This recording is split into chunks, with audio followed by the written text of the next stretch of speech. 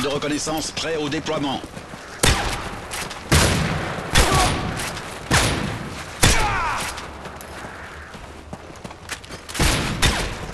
Tourelle anti-aérienne prête au déploiement.